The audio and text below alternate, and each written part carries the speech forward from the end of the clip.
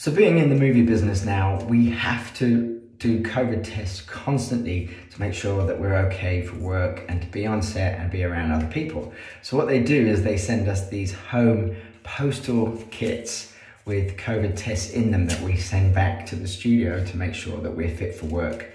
Um, and we do this on the run up to when we'll be actually working on set. So I thought you might find it interesting to know what it's like to do one of these home COVID tests and uh, what we have to do if you've never had one before. So when I open my mouth, I'm going to open it wide and you'll see that there is like a bell-like structure at the back. That's called the uvula and either side of that are arches that contain the tonsils. So you have to do five swabs on the right side, five brushes against the arches which contain the tonsils on the right, and then five on the left. And then you stick the same swab up your nose till you feel resist resistance, twiddle it five times, rotate it five times, and then do the other nostril. So that's what it takes. So um, here goes. I hate this bit because if you do it properly, you do gag when you stroke the tonsils.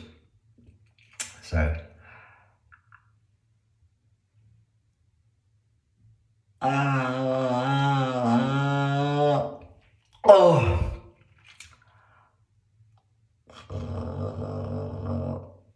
Oh, God. Horrible. Now it's got to go out my nose.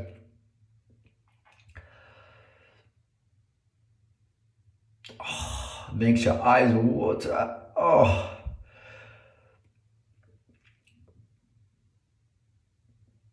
Oh.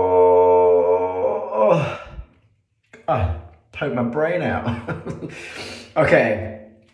So then you put it in a vial which contains preservative liquid.